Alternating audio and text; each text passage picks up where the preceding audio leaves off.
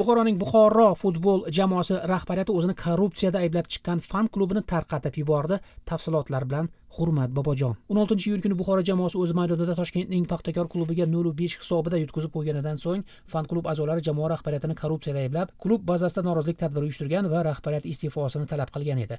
Bu ziddiyat ortidan klub rahbariyati muxlislarni jamoa bazasida janjal ko'tardi degan iddao bilan ichki ishlar bo'limiga arz qilgan va fan klubni tarqatib yuborgan. Buxoro fan klubining ismi ochiqlanmasligini istagan a'zosi ozodlik bilan suhbatda norozilik tadbiri ortidan fan klub faollaridan bir nechtasining viloyat ichki ishlar boshqarmasiga olib ketilganini bildirdi. Aytilishicha ichki ishlar boshqarmasida soatlab so'roq qilingan bu faol muxlislar klub rahbariyatiga nisbatan korrupsiya ayblovlari bitilgan telegram kanalini tergovchi guvohligida o'chirib tashlashga majburlangan. Ozodlik buxoro futbol jamoasi fan klubi a'zolariga ichki ishlar boshqarmasida tahdidlar qilingani haqida buxoro viloyati ichki ishlar boshqarmasi matbuot xizmati boshlig'i quvvat yarashevdan izoh so'radi.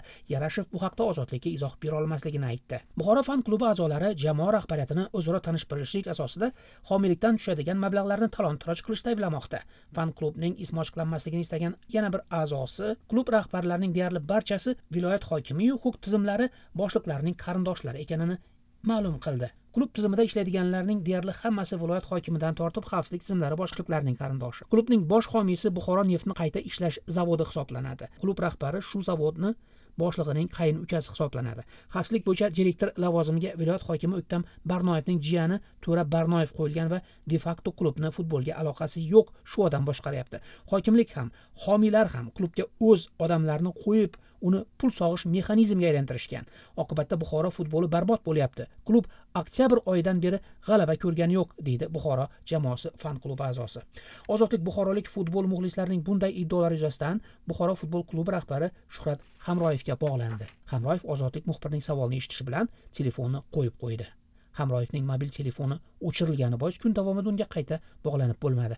Ozodlik homiylik mablag'lari talon toroj qilinayotgani iddaolari yuzasidan izoh olish uchun buxoro klubining bosh homiysi hisoblangan buxoro neftni qayta ishlash zavodi matbuot xizmatiga ham bog'landi.